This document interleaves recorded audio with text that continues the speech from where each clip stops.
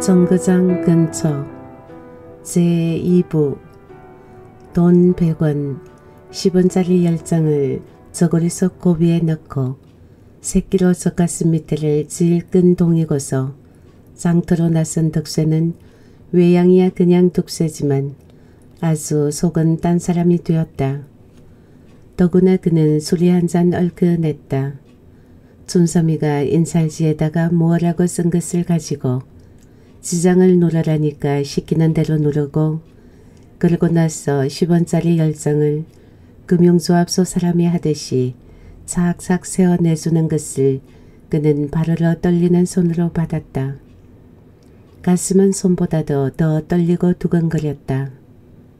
10원짜리 10장을 한 장씩 침을 묻혀가면서 세어 술을 맞추기에도 힘이 들었다. 그놈을 저고리 속 고비에 넣으면서 밑바닥에 구멍이 뚫리지 아니했나 잘 신측해 보았다. 다시 새끼를 한 발 집어다가 저고리 위로 젖가슴 밑으로 질끈 동염했다. 덕쇠는 그 고마운 춘삼이를 술을 한 잔 대접하려고 청하니까 춘삼이는 그럴 수가 있느냐고 먹기는 먹어도 자기가 내지 하고 전주집으로 나와 대짠식이나 먹었다. 춘삼이는 집에서 나올 때 덕쇠는 이쁜이를 만나 잘 있으라고 작별이라도 하고 싶었으나 이쁜이는 가던 길로 춘삼이가 안방으로 들여보내 그의 아내에게 맡겨 닭달을 시키느라고 눈에 보이지 아니했었다. 그래 좀 불러달라 할까 하다가 미안해서 그만두었다. 덕쇠가 술값을 치르려고 더구나 어젯밤에 오전에치 국밥 한 그릇 외상 달라고 그다지도 애걸하는 것을 잡아떼던 전주대간테 보아란 듯이 10원짜리 뭉텅이를 보여줄 양으로 부스럭부스럭 새끼를 부는데 순삼이는 자기한테로 달아두라고 이러고 일었었다. 덕쇠는 그래도 돈 뭉텅이를 꺼내어 그 중 한 장을 번쩍 내밀었다. 아니요 고상 내 술도 한 잔 먹어야지. 자 이것 거슬려주. 전주댁은 그러나 놀라지도 않고 10원짜리 거스를 거 없으라우. 하자 춘삼이는 덕쇠를 잡아끈다. 이 다음에 그놈으로 장사해서 돈 많이 벌거든 그때 먹세. 보면 볼수록 덕쇠는 춘삼이라는 사람이 고마운 사람이라 눈물이 나려고 했다. 덕쇠는 춘삼이를 작별하며 이쁜이가 아무 철도 모르고 그러니 친구 낯으로 보아 모든 것을 눈감아 쓰고 잘 데리고 있어 달라고 신신당부를 했다. 모든 것을 다 맡기니 말을 잘 듣지 않거든 때려주라고 그래야 사람이 된다고까지 일렀다. 이렇게 해서 할 일을 다 하고 돈 100원을 지닌 몸에 얼큰해 가지고 그는 혼자 장터로 나선 것이다. 돈 100원은 덕쇠한테는 가지고 쓰고 하기는 고사하고 도무지 생각도 해보지 못하던 큰 덩치다. 천문학적 숫자 같은 엄청난 돈이다. 그는 어떻게 생각하면 지금 저고리 속 고비에 들어있는 10원짜리 10장이 돈이 아닌 것도 같았다. 또 혹시 못 쓰는 돈이나 아닌가 버럭 의심이 나 단박 풀어보고도 싶었다. 그러나 그런 생각들은 너무 느긋해서 든 것 같이 잠깐 잠깐 일어나는 것이요. 거서 몸이 날듯이 가볍고도 든든했다. 마침 정거장에 새 차가 들이닿았다. 여럿이 내려서 흩어져 가고 짐을 가진 사람이 두리번거린다. 덕쇠는 멀리 바라보며 속으로 흥 하고 웃었다. 정거장 건너편 농가운데에서는 금을 파느라고 추운 다리를 걷어올린 일꾼들이 여기저기 수백 명 모여서서 움직거리며 일을 하고 있다. 덕쇠는 보기에도 그 사람들이 한심했고 또 전에 사기도 그거나마 일을 한몫 얻어 하려고 애쓰던 일이 우스웠다. 덕쇠는 이전방 저전방 돌아다니며 흥정을 했다. 쌀이 한 말, 양재기, 고기, 모자가 해입을 옷감, 솜, 고무신, 그리고 마지막 담배가게에서 담배를 샀는데 화장품이 눈에 띄었다. 그는 25전을 주고 물분 한 병을 샀다. 이쁜이를 문득 생각하고 사기는 샀으나 다시 생각하니 이쁜이가 집에 있지 아니한 것을 바는 아니었지만 춘삼이네로 갖다 준데도 모든 것이 이제는 구비해 있을 텐데 그래 생각도 나지 아니할 것 같다. 기쁜 가운데도 저기 섭섭했다.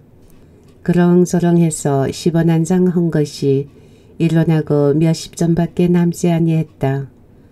득세는 흥정한 것을 모두 한데 묶어 가게에 맡기고 분산 것만 가지고 가게 앞에 나서서 망설였다. 생색이야 낙은 맑은 그 돈 100원이 따지고 보면 뉘덕으로 생긴 거라고 분한 병이나마 기왕 산 것이니 가져다 주고 그리고 못 보고 나왔으니 작별도 할 겸 또 무엇 그래도 가지고 싶은 것이 있다면 사다 주고 할 양으로 춘삼이 내게를 갈까 말까 망설이는데 빈 지게를 짊어지고 정거장 속에서 오는 한동리 사람 숭가비를 만났다. 숭가비는 돈 한 푼 날턱이 없는 덕쇠가 가게 앞에서 무엇을 다뿍 흥정해 가지고 꿍쳐놓고 하는 것을 먼 빛으로 벌써 보았다. 그는 그것이 궁금도 하거니와 어떻게 얼려서 막걸리 잔이라도 빼앗아 먹으려고 속으로 은근히 장을 대는 판이다. 자네 수 생겼는가 보네. 숭갑이는 우선 이렇게 수작을 붙인다. 어이 숭갑인가? 어디 갔다 와? 득세는 숭갑이가 금전판으로 품을 팔려고 첫 새벽에 나왔다가 허탕을 치고 돌아오는 줄 번연히 알면서 짐짓 모른 체하고 묻는 것이다. 그것도 하루아침에 실로 하루아침에 보자가 되어버린 자기와 그리고 여전히 궁하고 초라한 친구를 대놓고 보게 되니 더욱 신이 나고 그래서 말본새도 그렇게 어젓해지는 것이다. 나? 뭐 그저 헛걸음하러 왔었지. 대답을 건성으로 하고 순가비는 덕쇠가 꿍쳐놓던 것을 넌지시 넘겨본다. 덕쇠는 속으로 그따위 돈한 4, 5전 버는 금전판에는 다녀 뭐래. 나처럼 한꺼번에 100원을 벌지.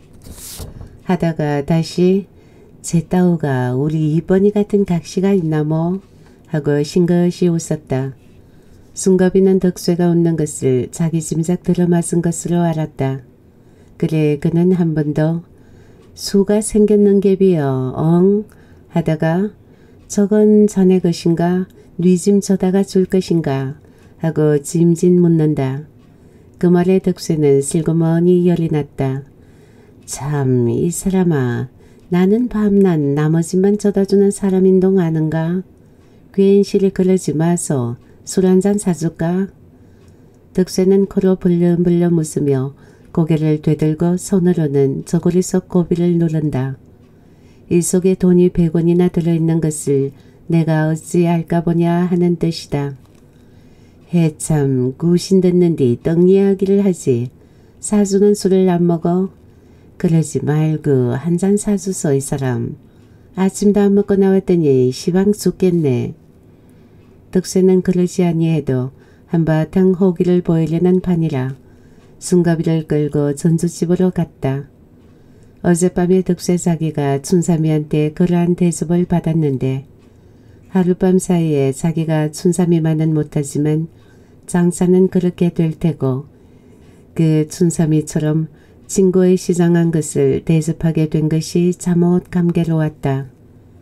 덕세는 흠뻑 요량을 했지만 순가비는 국밥에 한 잔이면 조카리랬던 것이 두 잔, 석 잔, 다섯 잔 그러고도 어쩔 셈으로 자꾸 더 권하는지 몰라도 권하는 대로 먹은 것이 필경 막걸리 일곱 사발씩을 먹었다. 두 사람은 제가끔 제멋대로 헛디뎌지는 다리와 실험을 하며 집으로 향해 걸어간다. 덕세의 물건 흥정한 것은 숭가비 시계 위에서 숭가비와 한 가지로 비틀거리고 덕세는 그 중에도 90원이 들어있는 소고비와 이번이를 생각하고 산 분은 곱다시 건사를 하고 간다. 장터를 벗어나자 덕쇠는 더욱 비틀거리며 어쩔 줄을 모른다. 여복의 순갑이 허허허허 어이 이 사람 다리도 비틀거리고 말도 삐틀삐틀한다.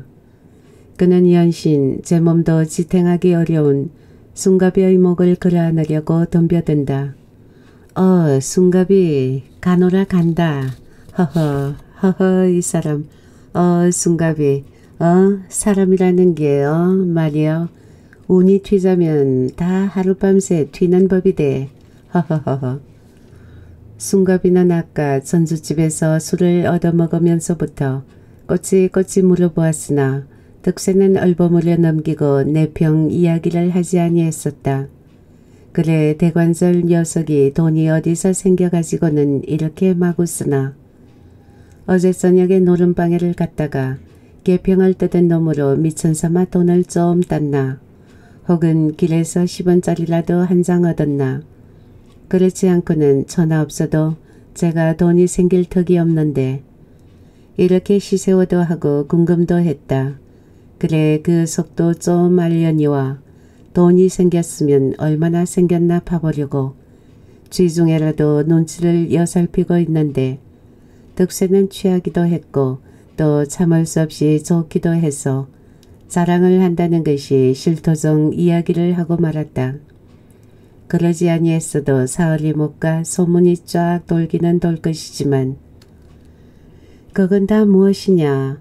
덕수가 상태에서 사가지고 온 것을 하나를 만고 방으로 들어오는 것을 보고 그 어머니가 마땅찮아서 말소리가 거칠다. 그는 돈 100원을 돈 100원이 어떻게 생겼는지 알지도 못하지만 그놈을 덕수가 받아가지고 오면 우선 그놈을 가져볼 것을 즐겁게 기다렸다. 물론 그 돈 100원을 가지고 장사도 하고 쓰기도 할 국리를 몇십 번이고 이리저리 마련해 보았다.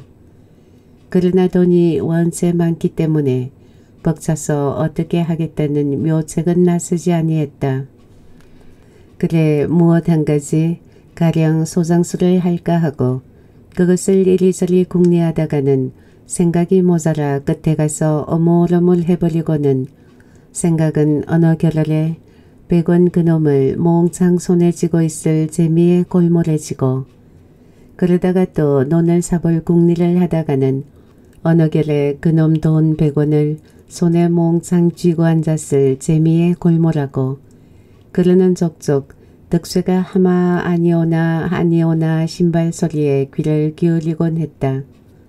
그렁저렁 마침내 올 때가 겨우니까 혹시 일이 틀어졌나 또 일은 잘 되었어도 이놈이 그 돈을 가지고 어디 노름방으로 가서 다 잃어버리시나 아니하나 생각이 좀 미침해 그는 애가 쓰이고 좀이 쑤시어 안절부절했었다. 그러던 차에 덕쇠가 오고 오되 혼자 오니까 일이 잘 되었나 보다고 반가웠다. 그렇지만 그놈 백원을 몽상 가져다 주지 아니하고 제가 먼저 손을 댄 것이 괘씸하고 노여웠던 것이다. 그런데 또 보니 득쇠가 술기운이 있는지라 더욱 화가 집어서 올랐다. 어, 술 처먹었구나. 오사의 이육실할 놈. 득쇠는 날이 차서 술이 많이 깨기도 했지만 또 어머니가 선거식에 터집을 잡을 것을 알고 조심한다고 한 것이 그냥 들키고 말았다. 내 돈 주고 안 사먹었으라오. 춘삼이가 사주어서 먹었지. 덕쇠는 입을 띠 하고 투덜거린다. 춘삼이고 급살이고 이놈아 돈을 받았거든 그냥 나를 갖다 주지 왜 네가 먼저 쓰고 그려. 쓰고 어쩌간디라오. 덕쇠는 짐진 낯던 성이 그냥 굳어버렸다. 왜 써? 아 쓸만하니까 쓰고 쓸데 있으니까 썼지라오. 다 양식 팔고 옷감 바꾸고 그랬지 뭐. 동전 한 푼이라도 못을 띠다가 썼으면 안열말로 개자식이요. 술은 춘삼이가 사주었다니 못 믿어오나 할 수 없고 다른 것은 보아하니 제 말대로 양식이며 옷감 같은 당장 급한 것이라 더 나무랄 말이 없다. 하기야 쓰기를 천하 없는데 썼더라도 그놈 백원을 그냥 고스란히 갖다 주지 아니한 것이 열이 나서 그렇게 야단야단한 것이지만 그러니 이제는 아무리 더 욕을 하고 억신각신해도 소용이 없고 나머지나 받아주는 수밖에 없다고 그는 할 수 없이 속을 느꾸었다. 다 네가 잘 희었다. 오시랄 놈. 그리어서 얼마나 썼단 말이냐. 한 10원 썼수. 뭐? 아 저런 썩어죽을 놈 보아라. 득수의 어머니는 누기려던 부하가 도로 치밀어 올랐다. 10원이라니 쉬언양 아닌가. 한꺼번에 쉬언양을 다 쓰다니 기가 막혀 말이 나오지를 아니한다. 더구나 무엇인지는 몰라도 10원을 다 썼다는 말하고 꿍쳐가지고 온 짐을 보면 생판 거짓말 같다. 너 무엇에다 쉬언양을 다 썼냐? 혹시 노름 미천을 하려고 따로 떼어두고 그러는가 하는 의심까지 든 것이다. 허참 자 보시오. 쌀이 한 말에 2원 40전이지라오. 무엇하러 한 말 두룩 팔어. 또 그러고 고무신이 두 켤레 1원 20전 허님께 응 가만히 자. 그놈이 얼마냐? 응? 누가 너더러 고무신 사다 달라더냐? 그리고 또 광목하고 쏘케가 5원 각수지라오. 득쇠는 숭가비와 술 먹은 놈 70전을 여기다가 쳐서 더 불렀다. 광목은 무엇하려고 그렇게 많이 바꾸어 왔냐? 니 애미 급살 맞을 죽었다고 초상치를라고 그랬냐? 육실할 놈. 채, 참 동지 섰달래 혹겹 입고 있으면서 그러시오. 그리고 또 그리고 그 나머지는 고기, 담배 그런 것이지라오 뭐. 듣기 싫려. 덕수 어머니는 한동안 앉아서 까막까막 따시어 보았다. 대강 아귀가 맞는 것 같다. 노름미천을 젖혀놓았나 하는 의심은 풀리었다. 그는 입을 다물고 다가앉으며 남은 돈 다 이리 내라. 한 푼도 남기지 말고 하고 서슬 있게 다구쳤다. 왜라오? 아 왜가 무슨 와여 이리 내놓아. 글씨 무엇이려고 그러라오? 무엇하기는 무얼 무엇이여 이리 내놓아. 남은 놈 다 내놓아. 가만두시오. 도둑놈을 만나더라도 내가 갖고 있어야지. 다 늙어 빠진 노인네가 갖고 있다가 큰일 나게. 걱정을 말어. 잔소리 말고 이리 내요. 못 튀어라. 득수의 어머니의 요랑은 아주 획 틀어져 버린다. 그는 그만 눈에서 불이 나올 것 같다. 아이 육실할 놈아 무엇이 어찌요? 돈 못 내놓는다고 그랬으라오. 득쇠도 어머니가 그렇게 돈을 내놓으라고 할 줄은 몰랐다. 또 돈을 빼앗아 가려는 속도 알 수가 없어 답답했다. 못 내놓아? 득쇠 어머니는 덤벼든다. 글씨 왜 이러는 거라오? 무얼 왜 이리여? 너 이놈 그 돈 갖고 나가서 술 받아 처먹고 노름하고 허평대평 다 써버리려고 그러지? 안 될 말이다. 다 일이 내라. 글씨 걱정 말아라오. 인제는 동전 한 푼도 더 안 쓰고 두었다가 내일이라도 장사 시작히어라오. 제발 가만두고 구경이나 희역이라오. 흥, 내 놈이 이놈아 무척 안 쓰고 잘 애껴두었다가 장사를 하겠다. 내놓아라. 세상 없어도 안 될 말이다. 나도 세상 없어도 못 내놓겠수. 안 내놓을티요? 덕수 어머니는 버쩍 달려들어 아들의 멱살에 메어 달린다. 아, 왜 이러는 거라오? 무엇 때문에 이러라오? 이놈아, 그게 어떤 돈이 간디 내가 차지하고 안 내놓으려고 그러냐? 이 찢어 죽일 놈, 이 가로먹을 놈. 있으나마난 머리를 풀어 해뜨리고 몸부림을 치며 메어 달린다. 숨이 차서 색색한다. 이놈아, 그게 어떤 돈이 간디? 네가 시방 이러냐, 어? 이놈아, 육실할 놈아. 어떤 돈은 무엇이 어떤 돈이라오? 뭐 내가 어디 가서 나무 중방 밑구녕을 뚫고 가져온 돈이 간디라오? 버젓하게 내 돈이라오 내 돈. 이놈아 그게 내 돈이야 이놈아. 내 돈 아니고 네 돈이 간디? 내 지집 때문에 생긴 돈이님께 내 돈이지 어떤 개아들놈의 돈이라오? 이놈아 그게 내 지집이면 누가 어디다 누가 키워서 준 지집이냐 응 이놈아 아무가 얻어 주었든지 내 지집이고 내 돈이라오.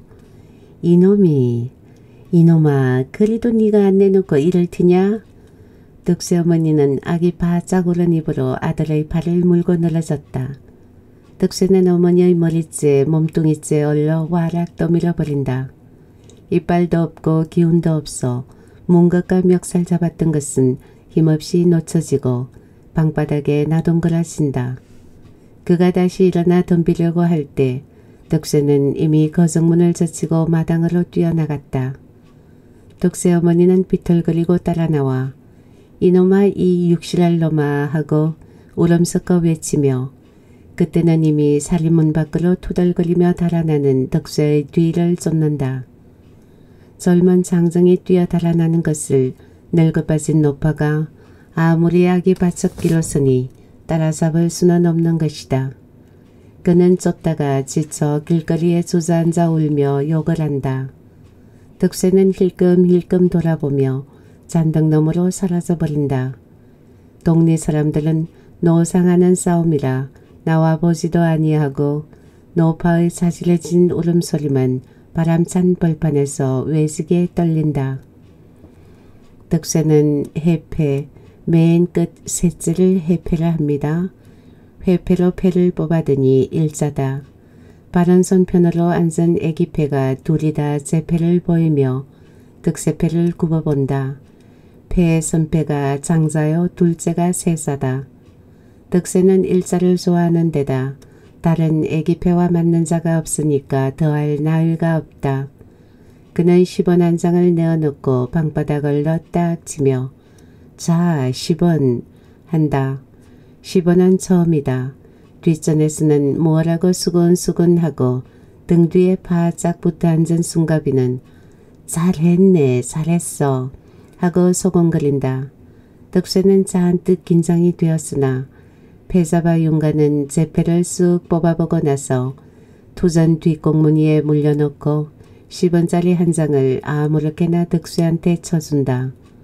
선패는 30전, 둘째 패는 5전을 각기 친다. 패자비는 돈을 다 쳐주고 나서 선패한테 투전목을 내어민다. 선패는 6자를 뽑아서 대고 둘째는 일자가 나오니까 뽑아든 두 장을 만지작 만지작 하며 떼일까 들어갈까 망설인다. 돈이라야 5전 아니면 10전을 대면서 번번이 될 때 들어가고 들어갈 때 대고 해서 득세를 낭패를 보이는 친구다. 득세는 돈을 잃고 심정이 난판이라 눈을 흘기며 대여 그까지 도전 내가 물어주기라도 할 테니께 하고 버럭 지천을 한다.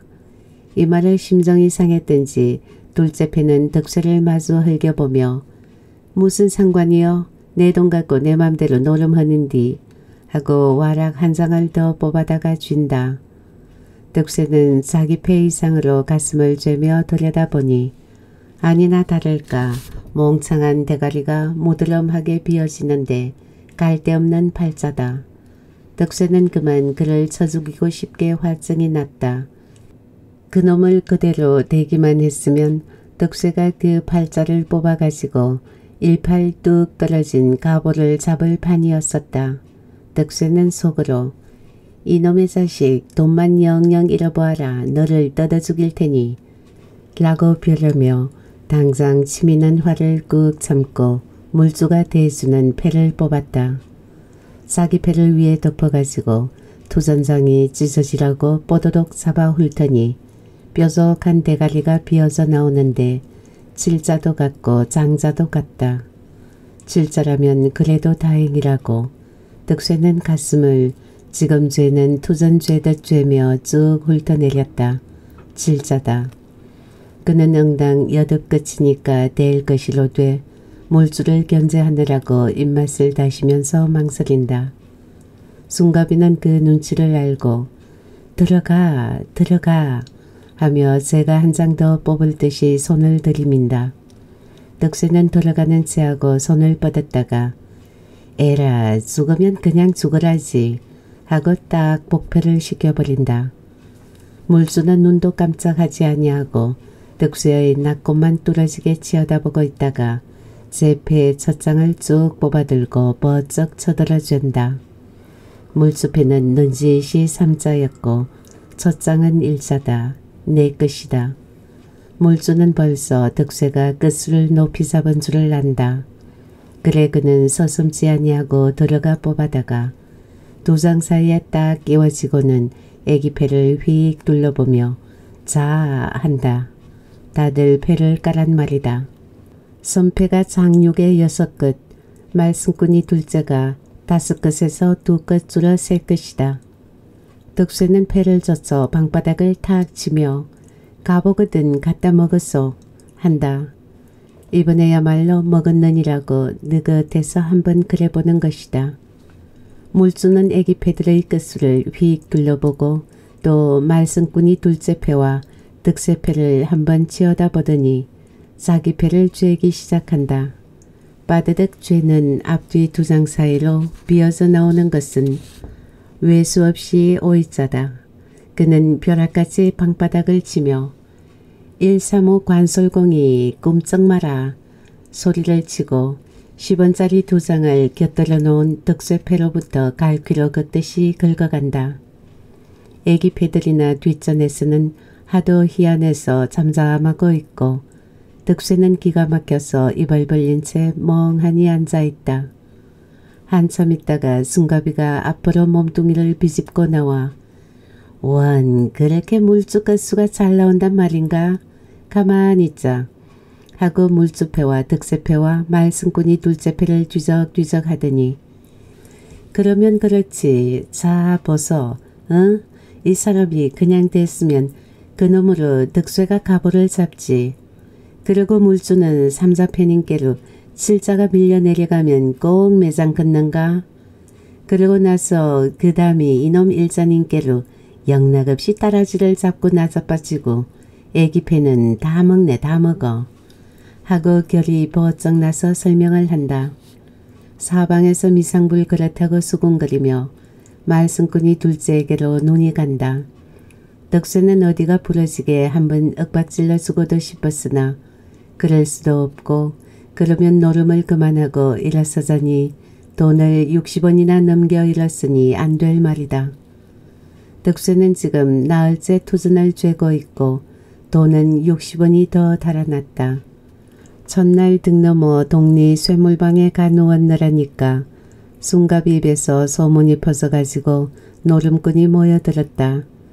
그러나 그날은 일전 이전 아니면 다시 개야 오전 10전을 치고 했고 또 얼마 아니해서 독세 어머니가 찾아와서 별 득실이 없이 노름방은 깨어졌다. 덕쇠는 몇 사람과 같이 달아났다. 달아나서 다시 노름을 시작한 것이 지금 이틀 밤과 사흘 낮을 북박혀 있는 정거장 근처의 이 집이다.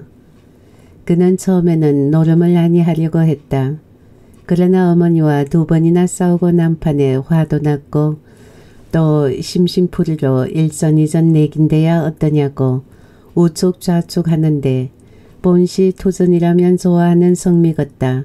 슬그머니 들이덤비었었다. 5원을 잃으면 1원점 따고 다시 10원을 잃고 그러다가는 몇 원 본전을 주워 놓으면 그놈이 한 10원씩 물러나가고 이렇게 해서 쫄끔쫄끔 나간 것이 30원이 넘어 나갔다.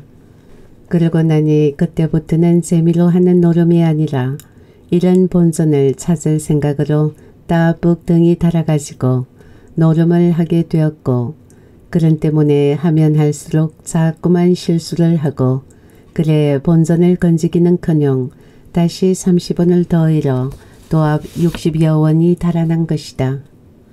차례가 돌아와 애를 잡느라고 투전목을 불끈 쥐고 내어미는 덕쇠는 얼뜻 보기만 해도 눈이 붉었다. 덕쇠의 흥분한 것을 보고 말썽꾼이는 슬며시 물러나고 다른 사람이 들어앉았다. 사실 그가 좀 더 까닐까닐 말썽을 부렸으면 돈은 잃었겠다. 그래 거진 환장이 된 덕쇠한테 단단히 두들겨 맞기라도 했을 것이다. 도전목을 내어 대니까 마침 노름방을 붙인 그 집 주인이 술과 국밥을 들여온다. 덕쇠는 시장한 줄도 모르고 그래 먹을 생각도 나지 아니했다. 그는 정신이 오리사리해서 지금 며칠째 그러고 있는지 그것도 모르고 때가 아침인지 저녁인지도 모른다. 다만 앞에 놓인 10원짜리 두 장에 잔돈 몇 원과 두전목과 또 돈을 많이 따가지고 있는 아까 그 에서비의 앞에 놓인 돈만이 보일 따름이다. 그는 저게 모두 내 돈인데 저렇게 가서 있거니 생각하면 더욱 심정이 상하고 그래 어서 이놈으로 저놈을 도로 다 찾아와야 할 텐데 하니까 마음이 초조한 가운데 허요까지 더럭더럭 일어났다. 숭가비는 국밥 한 그릇과 막걸리 사발을 들고 와서 덕수한테 권한다. 그도 덕수가 돈을 잃어 개평을 못 얻게 되니 속이 침울했다. 이걸로 욕이나 좀 허서 그리고 마음을 그렇게 조급하게 먹지 말고 싫어 자네나 먹소. 그러지 말고 좀 먹어 이 사람아. 그러고 이번에는 내가 대신 좀 잡아볼까? 일 없어 다 일 없어. 곧 죽어도 돈을 잃고 나서 남한테 대신 내맡기지는 아니하려 드는 것이 노름꾼의 고집이다. 이번이는 꼭 한 가지만 빼놓고는 모든 것이 남편 덕수가 말하던 대로여서 기쁘고 재미가 났다. 옷이 모두 비단 옷이다. 비단 옷을 입어보지 못했으니까 인조견이 비단이다. 머리에는 아직 이와 석회가 있기는 하지만 기름을 발라 싹 빗고 쪽을 지어 금비니를 꽂았다. 합성금이 어떻게 생겼는지 모르니 그것이 금비녀다. 얼굴에 분을 바란다. 주인이 사다 준 경대 앞에 앉아 거기 놓인 가진 화장품들을 써가며 단장을 하고 거울 속을 굽어다 보면 미상불 자기가 보아도 이쁜이라는 이름대로 이뻐 보였다. 그러나 여기서는 이쁜이라는 이름이 아니고 간드러지게 산옥이다. 밥원에서 준다 반찬도 이만저만 찬다. 빨래라고 하는 것은 구경도 할 수가 없다. 손에 물을 잠그기는 세수할 때뿐이다. 낮으로 손님이 없을 때에는 명옥이며 또 하나 있는 다른 섹시한테 장구를 들여놓고 노래를 배운다. 잠은 딴방에서 역시 비단 이부자리를 덮고 혼자 거처한다. 제일 걱정되던 술따르기는 막상 당해보니 그다지 어렵지 아니했다. 처음 주전자를 들고 손님 앞에 나앉으니 부끄럽기도 하고 그래 손이 떨려 몇 번 흘렸지만 아무도 그런다고 나무라지는 아니했다. 손이 튼 것은 손님들이 보고 춘삼이네가 일을 시켜 그런가 보다고 도리어 가엾이 여겨주었다. 손님들이 억지로 먹이는 술을 한 잔두잔 받아 먹으니 처음에는 속이 얼떨떨 하더니 그것도 며칠 지나니 되레 먹음직했다. 춘삼이 여기서는 아자씨라고 부른다. 춘삼이와 춘삼이 댁이 무엇을 때 있는 것이나 옷이나 담배 같은 것 사겠으면 말을 하라고 일러두고 그래 말만 하면 선뜻 시중을 해준다. 그럴 때마다 사다가 주고는 조그만 책에다가 도장을 누르게 한다. 도장도 아자시 춘삼이가 새겨준 것이다. 담배도 먹는 신용을 한다. 처음은 손님들이 담배를 주면 못 먹는다고 했지만 그러면서 한 모금 두 모금 빨아 버릇하니까 그냥 지내면 배워질 것 같았다.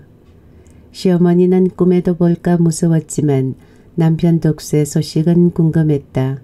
담배, 술, 별다른 음식을 대할 때마다 생각이 났다. 아자씨 춘삼이 들어 물으면 자기도 만나지 못했노라고 한다. 그러면 그 돈 100원을 가지고 어디 가서 장사를 할 것이겠지 하고 안심을 했다. 범사가 다 이렇게 편안하고 쉽고 안심이 되었다. 그래서 재미가 났다. 그러나 꼭 한 가지 괴로운 것이 있다. 소저녁 잠을 자지 못하는 것이다. 밤늦게까지 어느 때는 새벽까지 손님을 대하느라면 눈두덩이 내려앉아 견딜 수가 없다.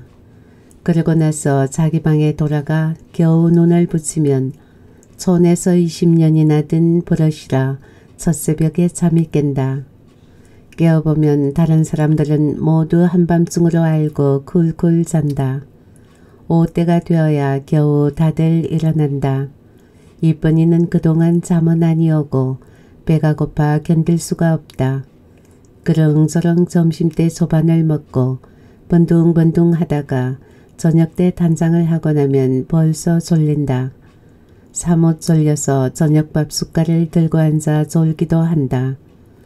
손님 술상 앞에서 졸다가 놀림거리가 되기도 했다. 이 졸려온 것이 그렇게 괴롭기는 하지만 그러나 생각하면 그것은 며칠 전까지 집에서 굶고 욕먹고 매맞고 하던 고생보다는 약과다. 이렇게 해서 일해가 지냈다. 오늘 저녁도 김덕대가 왔다. 벌써 사흘째인데 그새는 친구들과 같이 오더니 오늘 저녁에는 늦이게서 술이 얼큰해 가지고 혼자 왔다. 수염이 금씜금씜 얼굴이 웬만한 사람의 키만큼이나 길고 눈이 왕방울 같아 금전판의 덕대로는 깎아 맞추었다. 이번이는 다른 손님 방에 있다가 불리어 갔다. 산옥이 노래 배운다지 어데 한번 불러보아. 김덕대는 서너 순배째 들어온 술상을 윗목으로 밀어놓고 이쁜이 무릎을 베고 누워 이야기를 하던 끝에 노래를 정한다. 노래할 줄 몰라요. 이쁜이는 터진 손등으로 입을 가리며 부끄러워한다. 김덕대는 그 손을 잡아다가 거슬거슬 어루만진다. 모르기는 왜 몰라. 그새 배운 놈 하나 해보라고. 그리도 몰라라오.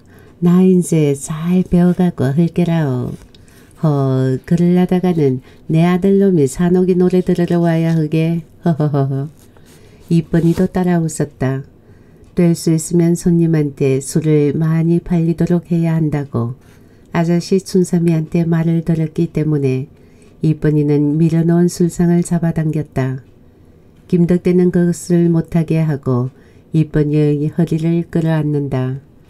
어 이거 봐 산옥이. 예?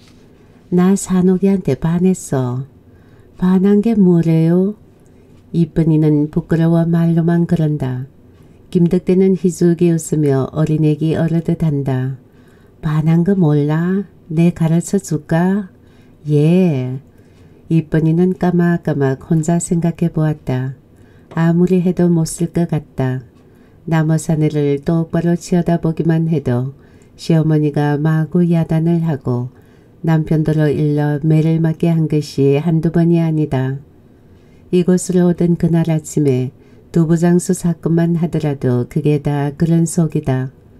그런 걸 괜히 함부로 그랬다가는 시어머니나 남편이 알면 무슨 거조가 날지 모른다. 그러나 손님은 자꾸만 저러는데 어떻게 하면 좋은가. 이럴 수도 없고 저럴 수도 없다. 이쁜이는 김덕대가 훑으려 잡는 것을 잠깐 나갔다가 꼭 온다고 기다리라고 해놓고 밖으로 나왔다.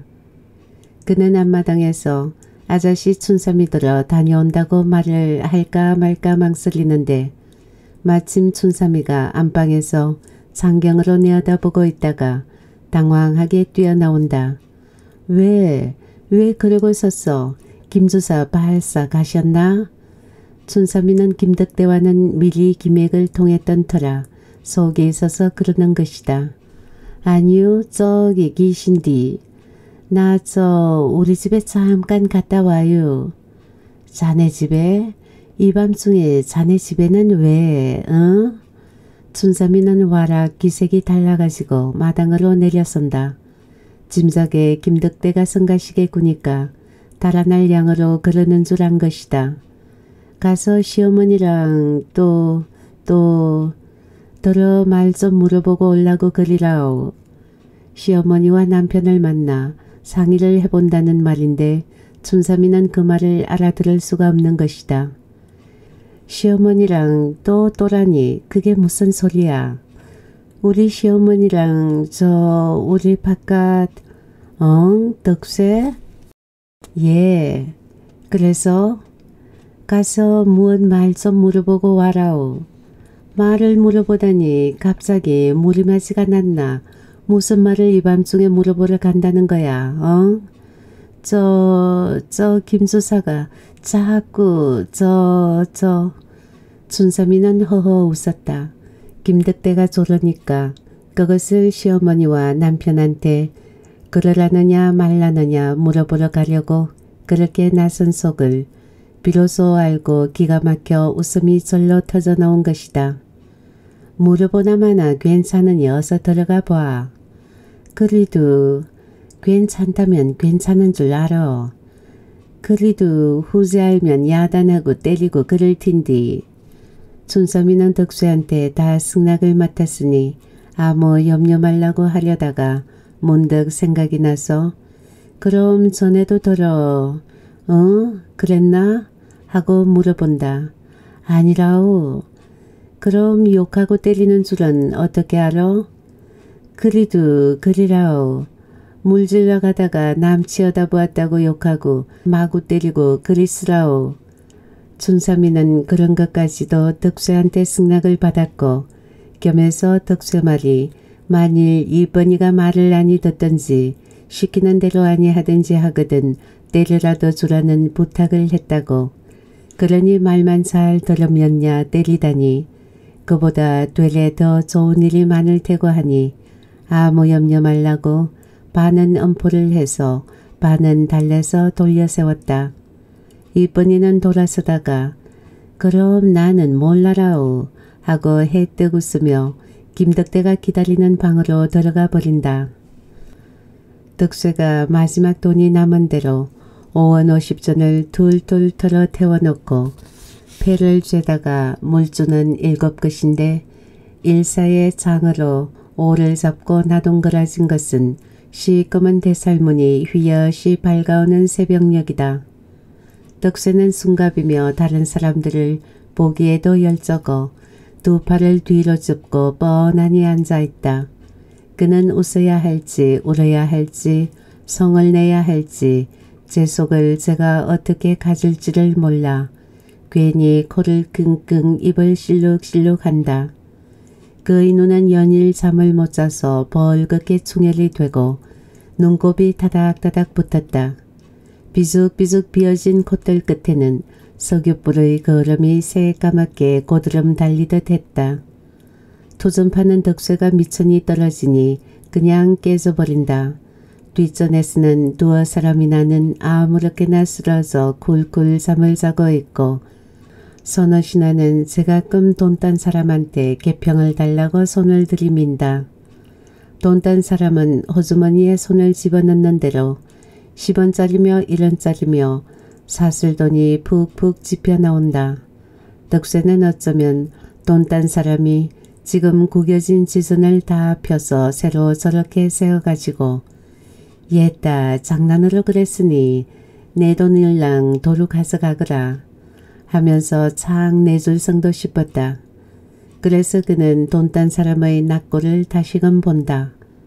돈 딴 사람은 개평꾼들이 100원을 땄으리 90원을 땄으리 하면서 자꾸만 손을 들이미니 짜장 뚜해 가지고 돈이래야 제우 60원 땄구만 그러네 하면서 큰 돈을 한 뭉치 집어넣고 1원짜리를 한 장씩 모조리 나누어 준다.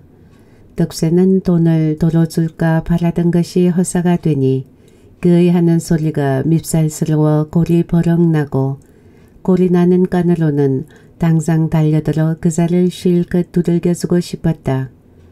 두들겨주고 그러고 그 김에 돈도 도로 빼앗고 싶었다. 숨가비만 빼놓고 개평 얻은 사람들은 덕쇠야 어찌 있건 좋아서 모두들 입이 해버려진다. 돈 딴 사람은 마지막 1원짜리 석장을 덕쇠에게로 밀어보내며 섭섭한데 해장이나 하라고 한다. 덕쇠는 본체도 아니하고 벌떡 일어서서 밖으로 나왔다. 환하니 밝은 방문 밖으로 나서니 덕쇠는 꿈을 꾸다가 깬 것처럼 정신이 번쩍 들었다. 그는 방문 옆으로 있는 오줌독에다가 담뿍 잠갔던 소변을 절절 쏟으며 손바닥으로 그놈을 받아다가 눈을 씻는다. 환하니 밝은 바깥에 나서서 정신이 들어갈수록 지나간 일이 아득하니 꿈결 같았다. 그는 소변을 다 누고 나서 오독하니 섰다가 무심결에 새 저고리 안기스의 호주머니를 만져본다. 돈은 역시 없다. 꿈결같이 허망해도 돈 90원은 홀라당 날아가고 없다. 가슴을 콱콱 찢고 싶게 후회가 난다. 그는 우선 연사흘 밤 투전을 하며 잡았던 배가 선연히 눈에 밟혔다. 사자 그놈을 지르지 않고 그냥 잡았더라면 오가 나왔으니까 사오 갑으로 20원씩 맞태웠던 놈을 먹었을 텐데 그놈 사자 배가 싫어서 질렀더니 오륙의 사자가 또 나와 죽던 것 이런 일이 하나씩 하나씩 생각이 나고 그런 족족 발이 저절로 한 번씩 굴려진다. 그렇게 잘만 했더라면 지금 그 돈 90원이 그냥 들어있을 텐데 하고 또 호주머니를 만져본다. 섭섭하게도 호주머니 속에서는 아무것도 만져지지 아니한다. 그 대신 실풀은 10원짜리 9장이 눈에 선연히 밟힌다. 그저 자그마치 한 5, 6원만 땄었을 때 벌떡 일어섰어도 아니 한 20원만 땄을 때 벌떡 일어섰어도 저기나 해서 한 4, 50원만 땄을 때 벌떡 일어섰어도 이렇게도 후회 났다. 그러나 후회를 하려 들면 방금 미칠 것 같다. 그래서 슬며시 마음을 돌려본다. 돈 100원쯤 생기기도 뜻밖의 생겼거니와 잃어버리기도 꿈속에서 잃어버렸으니 그저 희망한 꿈으로 돌려버리고 허허 한바탕 웃으면 그만이지. 이렇게 마음을 돌리면 저기 속이 편하려고 하나 뒤미처 이 뒷일을 장차 어떻게 한다. 어머니가 그렇게 극성을 하며 달랄 때에 선뜻 내맡겼더라면 도무지 이런 일 저런 일이 없을 텐데 이제는 어머니를 볼라도 없거니와 만나는 날이면 둘 중에 하나가 생죽음을 하고 말 것. 또 이쁜 이를 무얼로 찾아온다. 여기에는 대답이 꼭 막힌다. 약간 허망한 일이라고 단념을 하고 허허 하면서 한바탕 웃어버리고 할 그런 따위가 아니다. 큰일 났다. 그냥 모른 체하고 씻어 넘길 수는 없고 큰일이라도 이만저만 차는 큰일이다. 에라 빌어먹을 것. 득세는 혼잣말로 이렇게 내씹으며 휘휘 돌려본다. 마당 건너로 흙간 앞에 길쭉한 새끼가 한도막 허연 된설리에 덮인 채 뻗치고 있다. 덕새는 성큼성큼 걸어가서 새끼를 집어들고 아직 잠가둔 살인문을 열고 울 밖으로 나섰다. 겨울이라도 촌의 새벽은 이러다. 오줌지게를 진 사람이 뒤우뚱 뒤우뚱 논새길로 해서 보리밭으로 나가고 있다. 개똥망태를 어깨에 걸맨 사람이 한 손에 호미를 들고 울타리 밑으로 부지런히 기어다니며 개똥을 줍는다. 텃밭가에 노업다랗게 솟은 포플라 나무 꼭대기에 까치가 한 마리 위태롭게 앉아 깍깍 짖다가는 들로 향해 날아간다. 살인문도 없는 오두막집에 애기만한 각시가 다홍저고리에 물동이를 머리에 이고 나오더니 동리 앞 우물로 나간다. 강아지가 찰레찰레 뒤를 따라간다. 덕쇠는 각시를 보니 이쁜이 생각이 불현듯이 났다. 지금쯤 춘삼이 말대로 명옥이보다도 훨씬 이뻐졌을 이쁜이를 생각하면 부질없이 그를 갖다가 전당 잡힌 것이 애초에 잘못이라고 그 일까지 후회가 났다. 그는 가식이 들판 건너로 건너다 보이는 정거장 쪽을 연신 돌려다보며 동리 뒷산의 솔숲으로 들어섰다. 그는 우선 어떤가 하고 새끼를 목에 감아 두 손으로 양편에서 지그시 졸라본다. 처음에는 목이 좀 거북하더니 이어 귓속에서 윙윙 소리가 난다. 눈이 나오려고 하고 콧속이 뻑뻑해진다. 그래도 조금 더 졸으니까 귀가 터질 것 같고 눈에서 별 같은 것이 보이며 왈칵 기침이 나온다. 조금만 더 졸라본다. 관자놀이가 들썩거리고 얼굴이 터지려고 하고 금방 죽는 것 같다. 그는 급결에 얼핏 손을 느꾸고는 숨을 뱀이까지 깊이 들이마셨다가 다시 그놈을 내뿜는다. 그것이 어떻게나 시원한지 그런 맛은 생전 처음인 성쉽게 좋고 안심이 되었다. 괜히 아프겠으리. 덕새는 혼자말로 중얼거리며 방금 새끼에 서쳐 얼얼한 모가지를 손으로 만진다. 그렇게 하면 죽어지나 나무가지에다 매달아야지. 그는 저더러 이런 소리를 하며 소나무들을 휘휘 돌려본다. 그러나 솔들이 모두 길반 아니면 두 길밖에 아니 되는 애송이라 목을 메고 늘어질 만한 가지가 없다. 덕새는 그것이 다행한 것 같았다. 그래도 그는 두루 돌아보다가 한복판께서 큼직한 참나무 하나를 찾아내었다. 길반이나 높은 데 가서 실직한 가지 하나가 뻗어나온 놈이 목을 매기는 아주 마침감이다. 우선 나무를 타고 올라가 뻗어나온 가지에다가 새끼를 한끗 든든히 비끄러매고 한 끝은 올가미를 만들어 목에 걸고 쭉 서지면 될 판이다. 그는 참나무를 올려다보며 생각해본다. 쭉 처지면 아까 해보듯이 귀가 울고 눈이 쏟아지려고 하고 코가 맹맹하고 얼굴이 터지려고 하고 숨이 막혀서 대롱대롱 발버둥을 치고 혀를 기다랗게 빼물고 여기까지 생각하다가 그는 저도 모르게 이그 소리를 내며 상을 찌푸리고 몸서리를 친다. 마침 윙 소리가 나며 손 구부렁이 같은 왕벌 한 마리가 뚝 날아들어 우둘투둘한 참나무 우듬지에 앉는다. 이어 구멍에서 꽃 같은 놈 한 마리가 날아다닌다. 벌댐이 못 올라가겠구만. 덕새는 혼자 두렁거리며 다른 나무를 찾는다. 그러나 만만한 놈은 그리 없고 있어도 모두 흠이 있다. 재미할 것 죽을래도 죽을 수가 있어야지. 덕새는 마침내 골을 내어가지고 산에서 내려왔다. 산 밑에서 헐떡거리며 찾아다니는 숭가비를 만났다. 야이 잡거사 너 그럴 줄 알았다. 숭가비는 덕새를 보기가 무섭게 이런 지춘을 하며 아직도 덕새가 손에 들고 있는 새끼 토막에다가 눈을 흘긴다. 숭가비는 엊그제 덕새가 몸에 돈 100원을 지녔을 때와 달리 도루 전처럼 해라를 하고 욕을 하며 흉어물 없이 한다. 덕새는 희죽이 웃으며 저도 새끼 토막을 내려다본다. 그까지 딜로 목을 매달아 죽어 왜 죽을라고 혀. 히히 그냥 그럴라고 혀 보았지. 이 사람아 죽을라는 게못 죽겠대?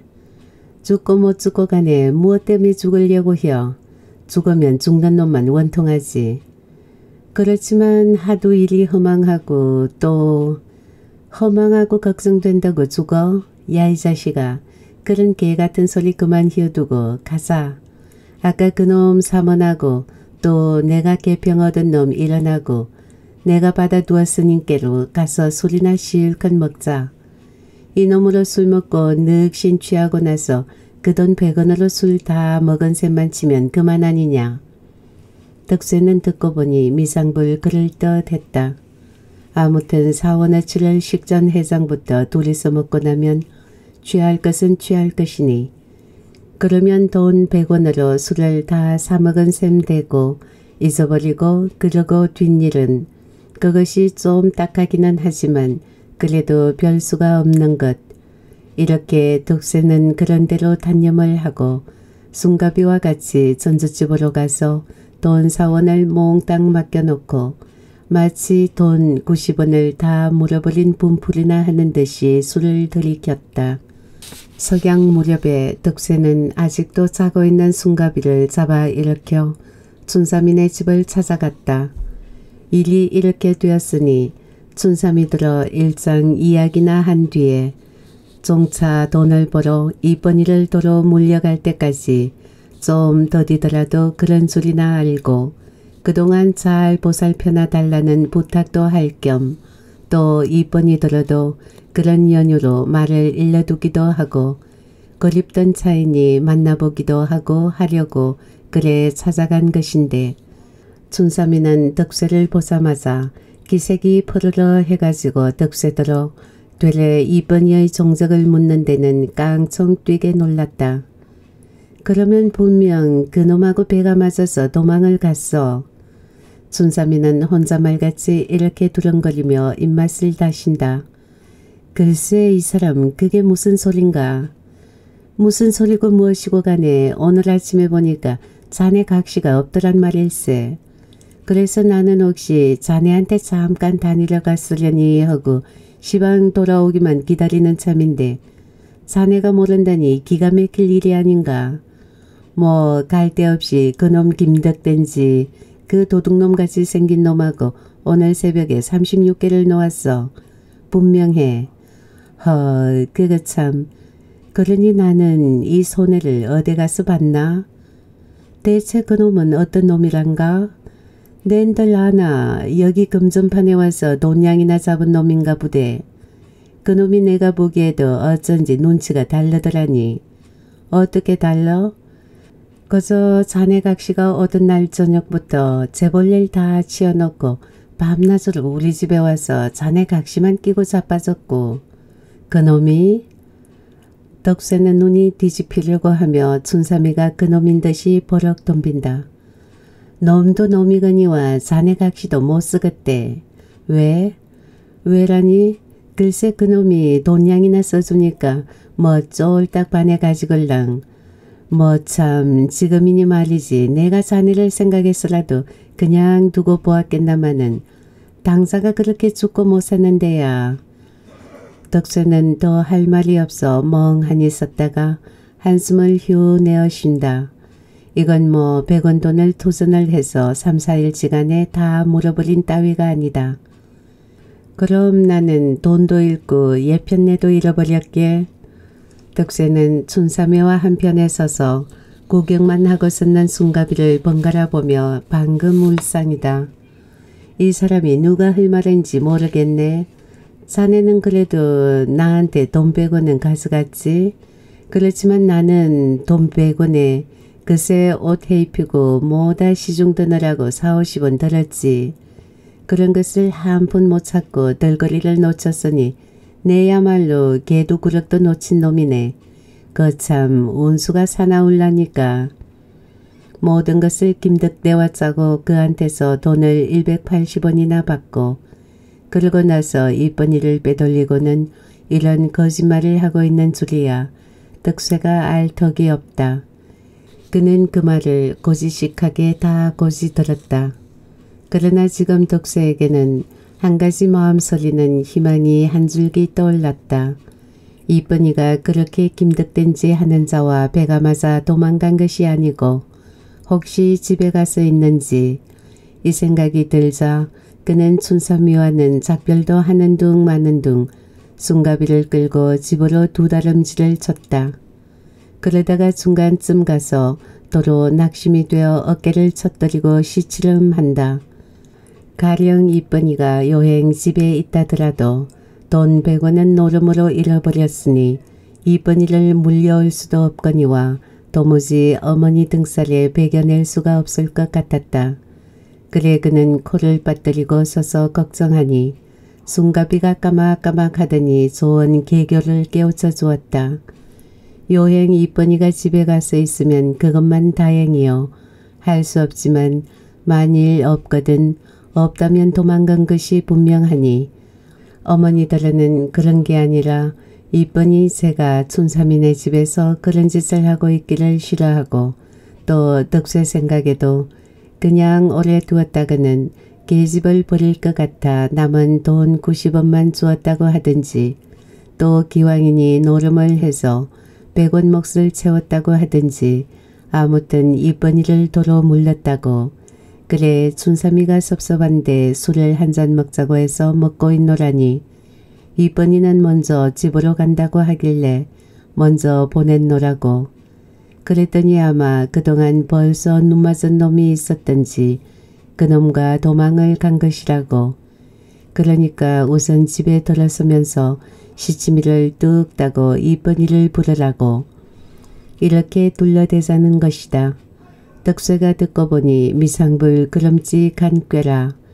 그러면 그렇게 하기로 하고 혹시 어머니가 춘삼이네 집에 쫓아가서 속을 알아보려고 할는지 모르니 그것을 미리 방패막이 해두어야 하겠어서 숭가비를 되짚어 춘삼이네 집에 보내어 제발 말이 어긋나지 않도록 어머니가 와서 묻거든 그렇게 대답을 해달라는 부탁을 하라고 시켰다.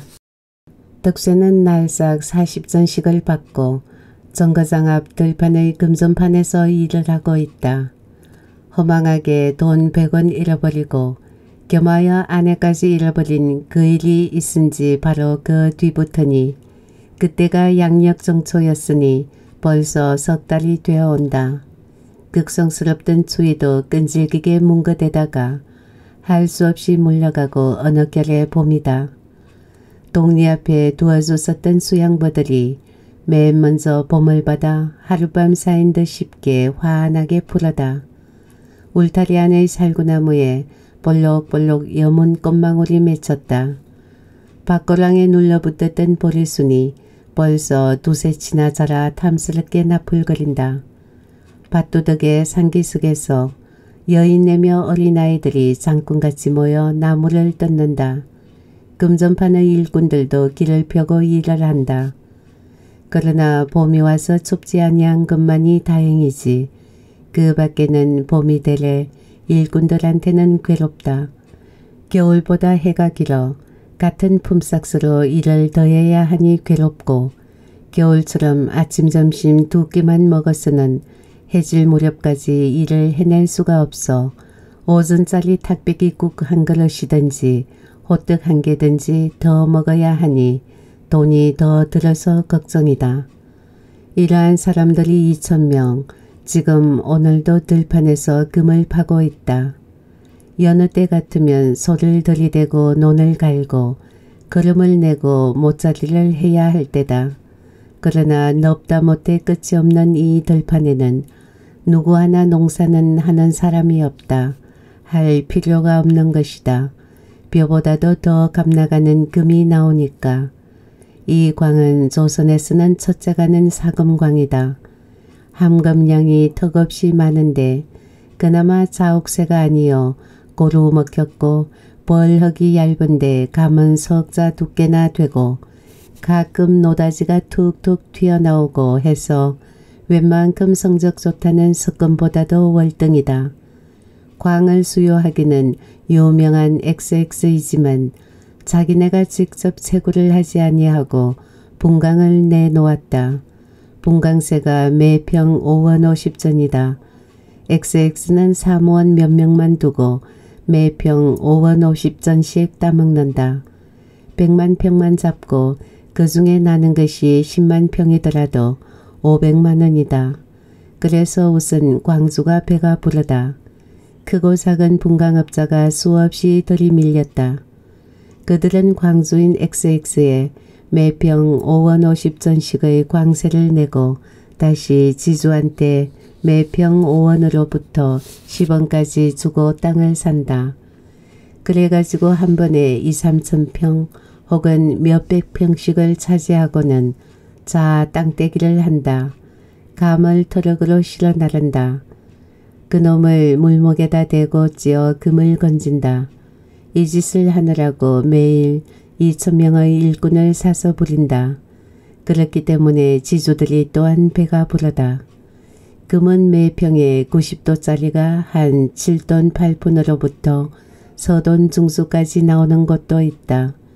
그러니까 광세와 땅값으로 10원 각수를 물고도 분강업자들은 숱한 이문을 남기느라고 배가 부르다. 그래서 그새까지 이 들에서 농사일을 해주고 얻어먹던 농군들은 사보로 금을 파주고 날싹 40전 아니면 45전을 얻어먹는다. 광주나 분강꾼이나 지주한테는 이 땅이 금전판이 된 덕에 깨가 쏟아지지만 농군들한테는 농사를 지어줄 때나 금을 파주는 지금이나 종시 일반이다. 농사일을 하던 때에도 해가 긴 봄날에는 배가 고팠으니까 금을 파면서부터 논이 고르게 연해 있던 이 들판은 무엇이든지 형용이 괴상하다. 군데군데 벌흙을 파서 쌓올린 것이 피라미신가 있는 애급 풍경이다. 들판 가운데 사무소로 생철집이 생기고 논 가운데로는 트럭이 놓였다. 일꾼들한테 한 상에 7전짜리 현미 싸라기밥을 파느라고 밥집이 10여 군데 생기고 일꾼들을 재우느라고 네 귀에 기둥을 박고 가마니 쪽을 둘러치고 바닥에는 등겨를 깔고 그 위에다가 가마니 쪽을 깔고 집이 생기고 호떡 가게가 생기고 술집이 생기고 담배가게 사탕가게 이런 것들이 들 가운데 아무렇게나 새로 생겨났다. 그야말로 진리가 변해버렸다. 덕선의 분강구에서는 어제까지 옷급대기 버럭을 다 벗겨내고 오늘은 아침부터 감을 파는 참이다. 덕쇠는 다른 일꾼 연화문과 같이 삽질을 하고 있다. 버럭을 벗겨낸 밑으로 세사와 조약돌이 섞인 누르스름한 석자 두께의 흙 한 켜, 감을 삽으로 퍽퍽 퍼서 들이대는 바지개에 부어준다. 분강도 규모를 크게 할라치면 트럭으로 감을 실어 나르지만 곰보 최덕대는 이번에는 조그맣게 한 500평밖에 아니했고 또 물목도 가까워서 그냥 바지개꾼으로 전하른다. 바지개꾼들은 한 50명이 나가 저편 물목까지 감을 지고 가고 지러오고 하느라고 마치 밥을 물어나르는 개미떼처럼 두 줄로 연락부절해서 오고 가고 한다. 곰보 최덕대는 물목 옆에서 금 캐는 것을 감독하며 이 편짝도 연애 감독을 하고 있다. 덕새는 지금 삽질을 하면서 정신은 삽끝에서 논다. 전에도 나왔다는 그런 노다지가 한덩이 눈에 띄었으면 뛰기만 하면 썰쩍 집어가지고 눈치를 보아 뺑소니를 칠 요량이다. 그렇게라도 돈 100원이나 손에 쥐어야 전자의 노름으로 100원을 잃어버린 벌충도 되고 이쁜 일을 찾으면 춘삼이한테 100원을 갚아주고 도로 물어든지 그렇게 계세가 못되면 장사를 시작할 미천을 장만하든지 하려는 것이다.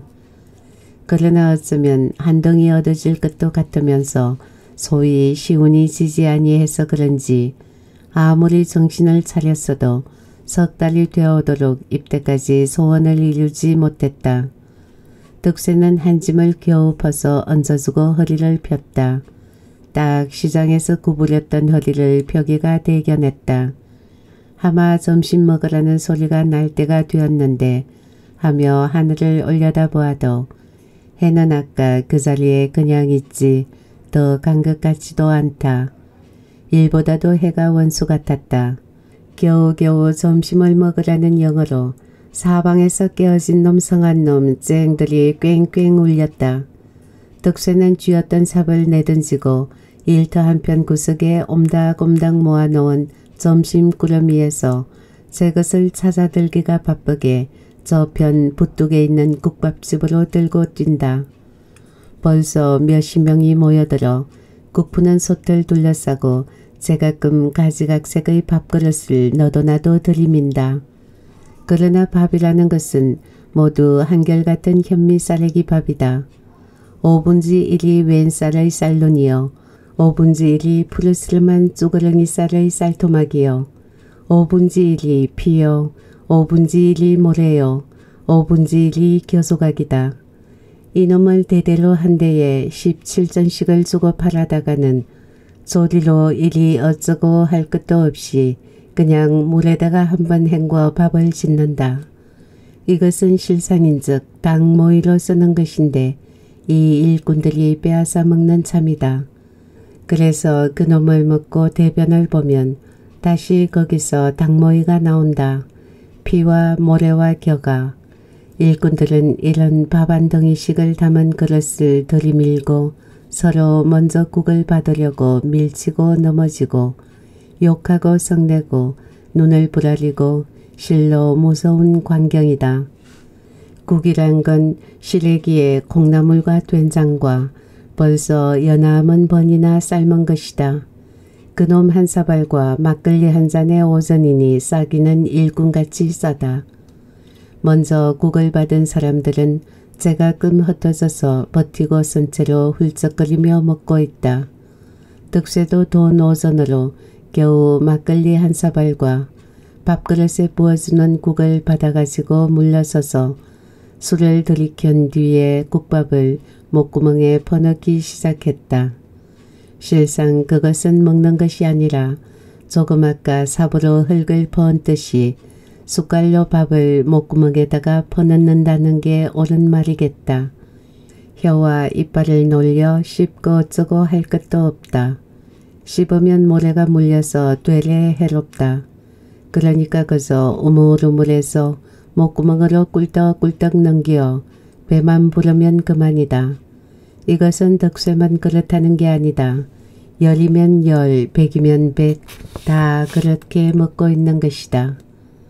해는 밉살스럽게도 서쪽 하늘에 동동 메어 달린 채 조음처럼 넘어가지 아니한다. 일꾼들은 삽질 한 번에 해 한 번씩을 바라다 보고 한숨 한 번씩을 내어 쉰다. 모두 지치고 시장에서 갱신도 못하게 되었다. 전 같으면 넉점 차가 지나갔으니 해가 거진 졌으련만 여섯 점 차가 하마오게 되었는데도 해는 대길 높이나 남아있다. 사람이 곧따위로 빤질거리고 미운 짓을 하면 쥐어 박질러 주기라도 할 것 같다. 덕쇠는 낮에 그놈 푸달신 국밥 한 그릇에 막걸리 한 사발로 요기를 하기는 했지만 먹던 그 당장에도 섭섭했던 걸 지금까지 속에 남아있을 턱이 없다. 그는 삽으로 푹푹 푸는 감이 밥으로도 보이고 떡으로도 보이게 정신이 없다. 마침 한 20칸이나 떨어진 저편의 다른 광고에서 왁자지껄 하기에 보니까 일꾼들이 보리개떡 장수하는 여편네를 쫑해를 꼴린다. 모두 제가끔 넓적한 보리개떡 하나씩을 물고 돌아서고 떡장수 여편네는 이 사람한테 돈을 받을라 저 사람이 집어가는 것을 붙잡을라 정신이 없다. 하다못해 소리를 고래고래 지른다. 일꾼들은 좋다고 희덕거리며 개숭에는 그 앞에 서서 오줌을 누는 사람도 있다. 이것은 매일 몇 번씩 생기는 구경거리요. 그런 것만이 지쳐서 말할 기운도 없이 일만 하고 있는 이 사람들을 웃게 하는 유일한 흥거리다. 떡새는 보리개 떡 장수가 이리로 오기만 하면 덮어놓고 두어 개 집어먹은 뒤에 배로 샘을 하려고 우두커니 서서 침을 삼키는데 바지개꾼이 바지개를 들이댄다. 그래 삽질을 하려고 몸을 돌리려니까 한 옆에서 방금 삽질을 하던 일꾼이 어느 결에 그랬는지 서너시나 모여 머리를 한 대 쳐박고 수군수군한다. 덕새는 정신이 번쩍 나는 것 같이 삽질이고 무엇이고 잊어버리고 그리로 뛰어가서 고개를 불쑥 들이밀었다. 덕새는 단방 눈이 휘둥그레졌다. 말만 들었지 처음 보는 노다지라는 것이다. 언뜻 보기에는 빛깔이 노르스름하고 좀 번쩍거려서 그렇지 그런 놈이 한 개가 아니고 엄지손가락만한 놈과 또 그보다 조금 작은 놈이 두 개, 이렇게 세 개인데 따로따로 떨어져 있지 않고 가느다란 잘록이로 세 개가 위태롭게 한데 연해졌다. 한 사람이 그놈을 손바닥에 얹어놓고 철싹철싹 중수를 가늠해 본다. 그 옆으로 기다리 하나가 붙어서서 남들이 자꾸만 모여드니 이마살을 찌푸리고 저편 물목개를 힐끔힐끔 돌아다 본다. 노다지를 얻어낸 게 이 기다리다. 다른 일꾼들도 벌써 눈치를 채고 삽질하던 사람, 짐질하던 사람 할 것 없이 너도 나도 꾸역꾸역 모여들어 고개를 쳐박고 덤빈다. 성냥중수는 실이 되긋는 걸 성냥중이면 300원이라 무게를 꼬너든 사람이 뉘게라 없이 혼잣말로 중얼거린다.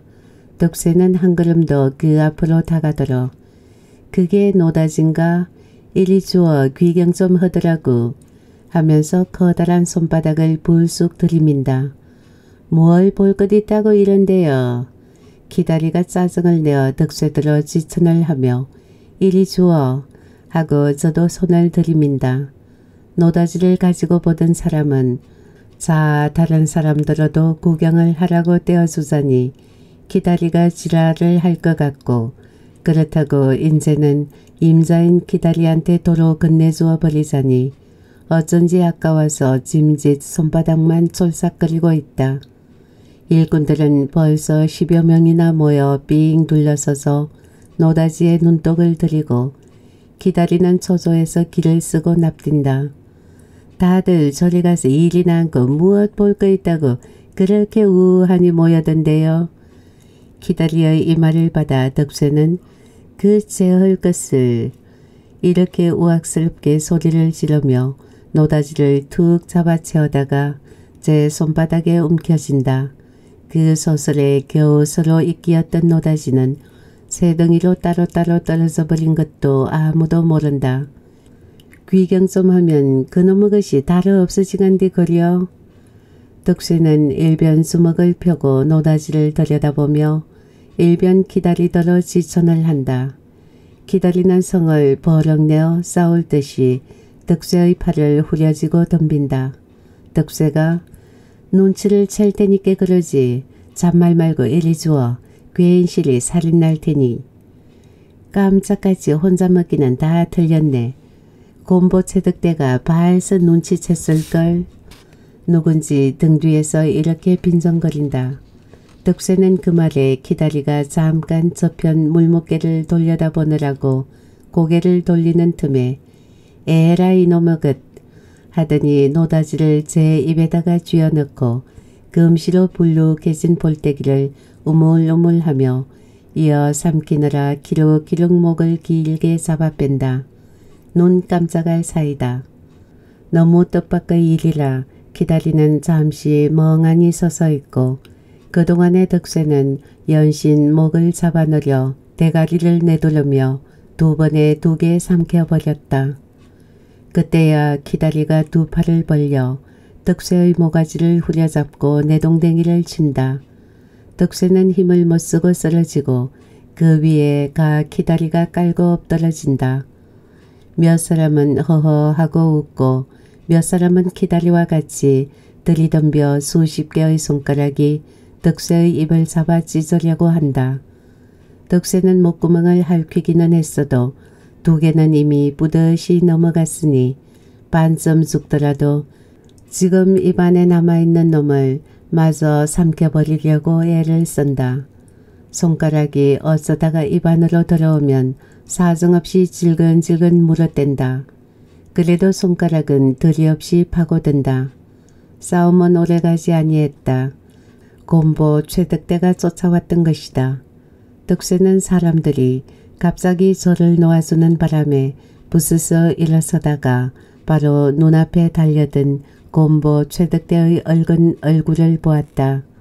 그는 찔끔해서 아직도 못 삼키고 입속에 있는 한 덩어리를 마저 삼키려고 다시 목을 끼룩거리니 벼락불이 나게 따귀가 올라붙는다. 그 소설의 금덩이는 덕쇠의 입에서 쏟아져 흙바닥에 떨어진다. 그놈은 원체 굵어서 사람의 목구멍으로는 넘어갈 수가 없는 놈이다. 곰보 최덕대가 침과 피와 흙이 묻은 검덩어리를 집어들며 덕쇠한테로 눈을 흘기니 기다리가 옆에 섰다가 그 자식이 두 개는 생겼어요. 하고 방금 잡아먹고 싶은 듯이 덕쇠를 쏘아본다. 아 해봐. 곰보 최덕대가 입을 벌리며 한 걸음 덕쇠 앞으로 다가선다. 덕쇠는 안심하고 입을 벌려 보인다.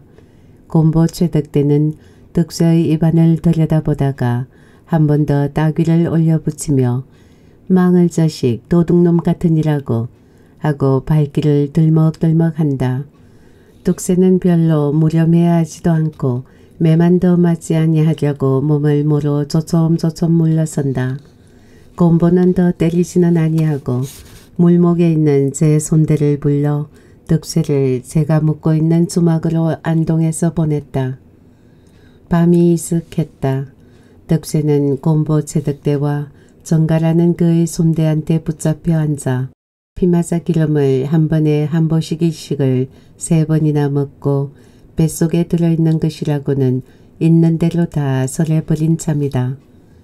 그는 사지와 전신의 기운이 마치 피마사 기름으로 해서 밑으로 다 빠져나간 것처럼 다 빠지고 퍼져 쓰러졌다. 그래도 정시 검덩이는 나오지 아니했다.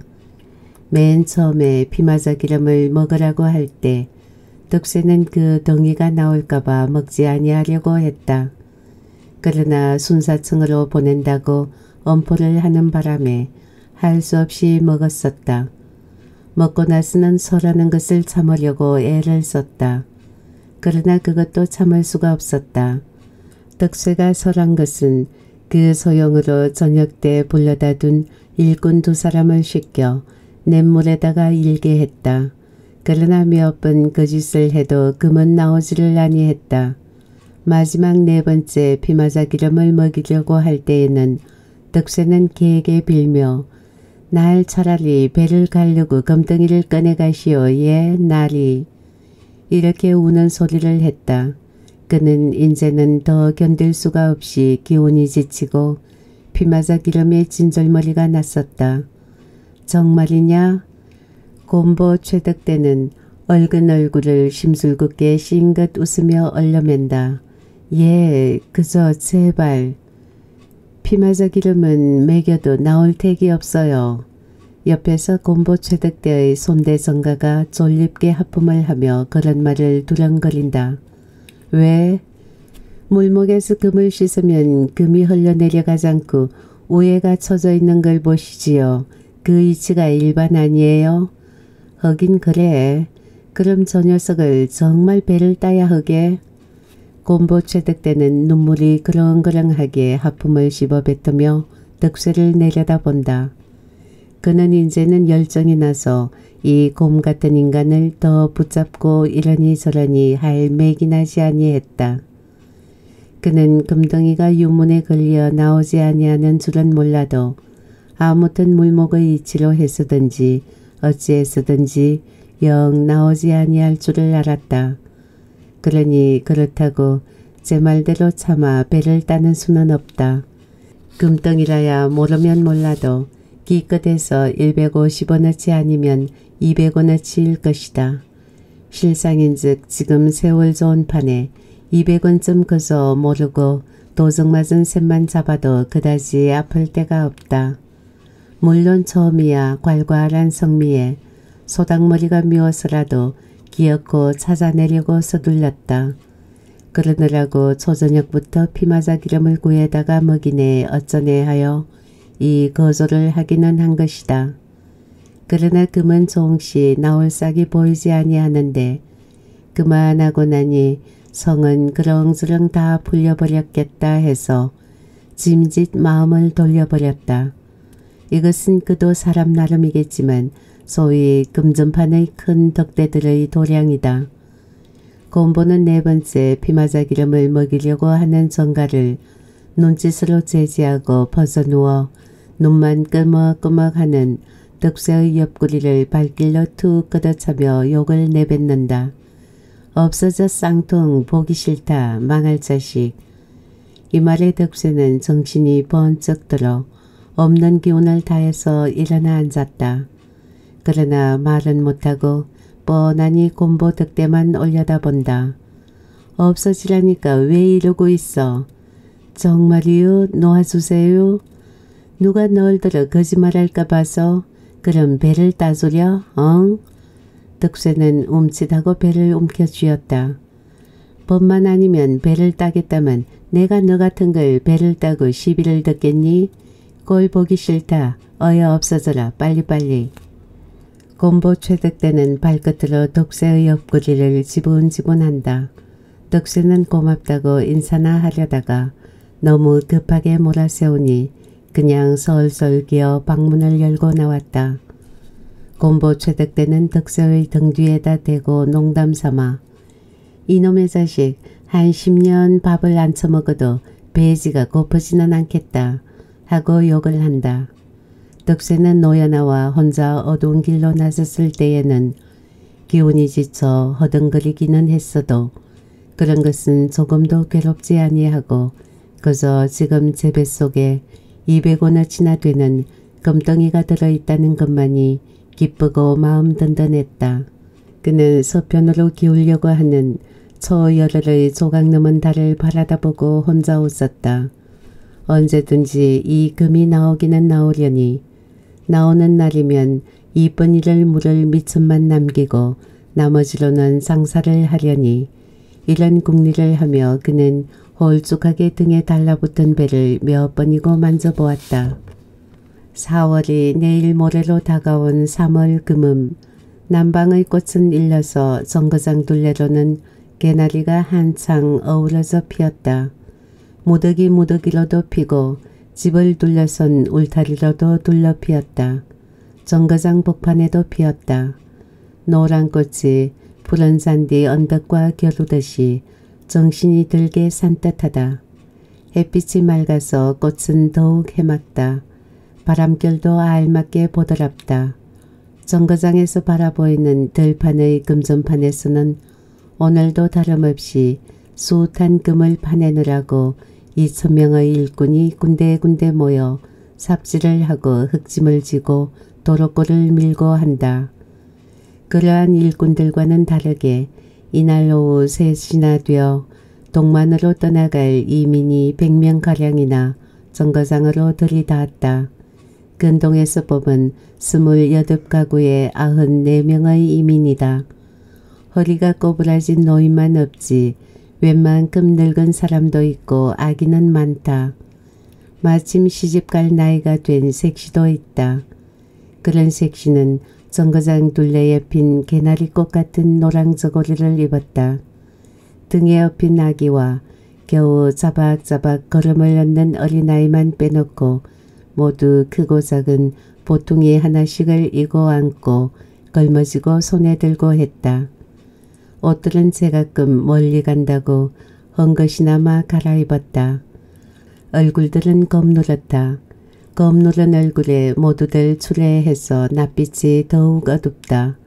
좋아하는 것은 차를 타는 줄 아는 어린아이들 뿐이다.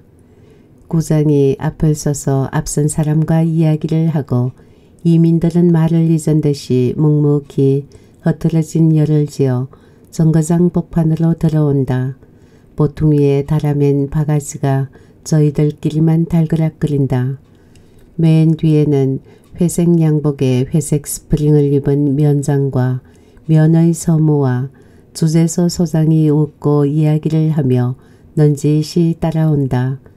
그 뒤로 이민을 전별하려 한 50명이나 남녀 섞어 노소가 무더기로 따라온다. 그 사람들도 다 같이 출애하다.